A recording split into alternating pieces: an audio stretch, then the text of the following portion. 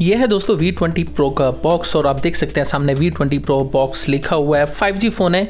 आप साइड में देख सकते हैं यहाँ भी पैचिंग है V20 Pro की और पीछे की तरफ़ भी इसकी बाकी की डिटेल्स लिखी हुई हैं, जैसे क्या क्या सपोर्ट करता है और इसका डिस्प्ले क्या क्या है, ये सभी चीज़ें जो है पीछे की तरफ़ लिखी हुई है, साथ में इसके प्राइस वगैरह, ये सब भी मैंशन किया गया है। तो क्या करना है? चलिए बिना किसी देरी के इस प्यारे से फ़ोन को अनबॉक्स कर लेते हैं और देख लेते हैं कि अंदर हमको क्या क्या मिल जाता है। चलिए वीडियो की शुरुआत करते हैं। लेकिन उससे पहले मेरा एक सवाल है, सवाल की क्या आप बता सकते हैं, ये फ़ोन मेड इन इंडिया है या फिर मेड इन चाइना है? कमेंट बॉक्स में लिखकर मुझे कमेंट ज़रूर करिएगा। और ये आठ जी रैम और एक सौ स्टोरेज के साथ में आता है। तो चलिए फटाफट इसको अनबॉक्स कर लेते हैं। प्लास्टिक इसका कट करते हैं। और यहाँ प्लास्टिक ओपन करने के बाद यहाँ पर आपको मिल जाता है कुछ इसके पेपर्स और सिम इंजेक्टर ट्रे आपको मिलती है। साथ में आपको मिल जाता है एक सी टाइप केबल जो आपको फास्ट चार्जिंग करने में बहुत ज़्यादा मदद करेगा। इसके साथ मिलता है आपको 33 वॉट का फास्ट चार्जर जो आपकी 4000 हज़ार की बैटरी को सिर्फ़ 30 मिनट के अंदर ही 65 परसेंट तक चार्ज कर देता है।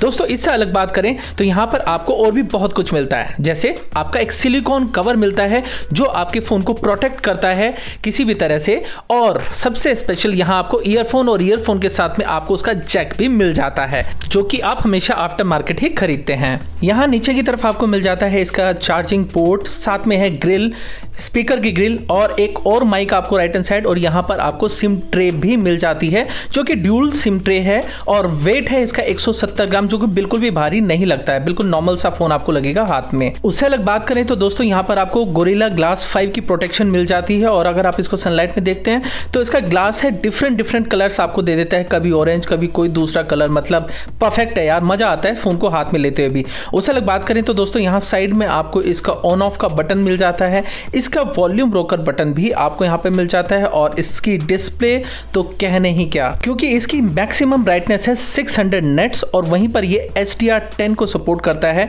और 410 ppi के साथ में ये फ़ोन और भी बेहतर डिस्प्ले बना देता है। तो दोस्तों, यहाँ पर आपके पास में एक बेहतर डिस्प्ले के साथ में एक बेहतर फ़ोन आप कह सकते हैं। वहीं दोस्तों, बात करें अगर इसके गेमिंग मोड की तो यहाँ पर आपको एक एक्स्ट्रा मोड गेमिंग लवर्स के लिए दिया गया है, जो इसके गेमिंग को जो क्वालिटी है, उसको और इन्हेंस कर देता है। वहीं गेम खेलते वक्त अगर आप चाहते हैं कि इसकी ब्राइटनेस सनलाइट या रूम लाइट में अप एंड डाउन ना हो तो आप इसकी ब्राइटनेस को लॉक भी कर सकते हैं, जो कि एक बेहतर एक्सपीरियंस आपको गेमिंग में दे देता है। और इसी के साथ में यहाँ पर आपको वेपर चैम्बर लिक्विड कूलिंग का ऑप्शन भी मिलता है। ऑप्शन क्या मिलता है दोस्तों? इस फ़ोन के अंदर दिया गया है जो कि अननेसेसरी आपके फ़ोन को गर्म नहीं होने देता और आप काफ़ी लंबे टाइम तक इसमें गेमिंग कर सकते हैं। दोस्तों, यहाँ पर कुछ फ़ोटोज़ के सैंपल भी आपको दिखाए गए हैं, जहाँ पर आप देख सकते हैं कि इसके प्राइमरी कैमरा 64 मेगापिक्सल से फ़ोटोज़ कैसे हैं, वहीं अल्ट्रा वाइड एंगल 8 मेगापिक्सल का भी हमने यूज़ किया और उससे अलग एक कैमरा, यानी कि दो मेगापिक्सल का माइक्रो कैमरा भी इस फ़ोन को दिया गया है। दोस्तों, साथ में हमने इसके कुछ क्वालिटी टेस्ट भी की हैं, जैसे इसको बैंड करके हम देख लेते हैं एक बार कि भाई, अगर हम इस फ़ोन को बैंड करते हैं तो क्या ये बैंड हो जाता है या नहीं होता है? और अगर होता है तो उसका क्या प्रभाव फ़ोन पर पड़ता है? वो चालू होता है नहीं चला? तो पूरा दम लगाकर हमने इसको बैंड करने की जो है कोशिश की थी और बैंड टेस्ट में कुछ ना कुछ आप देखेंगे तो इसका डिस्प्ले जो है वो मुड़ चुका है, मुड़ने के बाद में ज़ाहिर सी बात है कुछ ना कुछ तो डेफिनेटली इसमें डैमेज होगा। तो हम एक बार देख लेते हैं क्या डैमेज हुआ है तो शेट यार, यहाँ पर इसका जो है ग्लास टूट चुका है, आप देख सकते हैं। उससे अलग कुछ वाटर टेस्ट भी हमने किए, हमने इस फ़ोन को तकरीबन एक मिनट सैंतीस सेकंड के आसपास तक पानी में रखा और उसके बाद जब हमने इसको पानी को निकाला और देखा कि भाई फ़ोन चलता है क्या नहीं चलता तो दोस्तों यहाँ पर पानी से फ़ोन निकालने के बाद में जब हमने इसको चेक किया तो दोस्तों सरप्राइजिंगली फ़ोन तो ओके था, लेकिन बहुत सारा पानी जो है इसके जैक्स में भर गया था।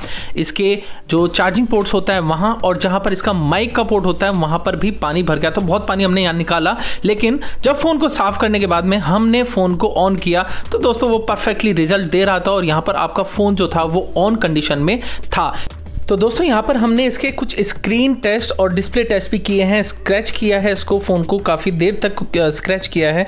लेकिन यहाँ पर भी हमें जो शॉकिंग रिजल्ट्स हैं डिस्प्ले टूटने से अलग, निशान पड़ने वाला कोई भी सीन इस फ़ोन के साथ में नहीं है। लेकिन आप ऊपर से नीचे फेंकते हैं तो वहाँ पर इसकी क्वालिटी कैसी है, पहले आप ये वीडियो देख लीजिए, पता लग जाएगा। हमने इसको तीन चार बार ऊपर से नीचे गिराया है और वहाँ गिराने के बाद में जब हमने इसको चेक किया कि भाई इसकी कंडीशन क्या है, क्या निशान नुकसान ज़्यादा है। तो दोस्तों, इसका शीशा नीचे से भी टूट गया।